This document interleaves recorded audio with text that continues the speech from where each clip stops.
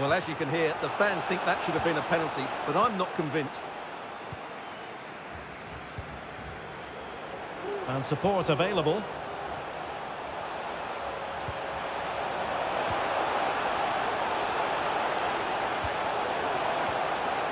It might be on for them. The supporters want to see him have a go. And will it be the leveller?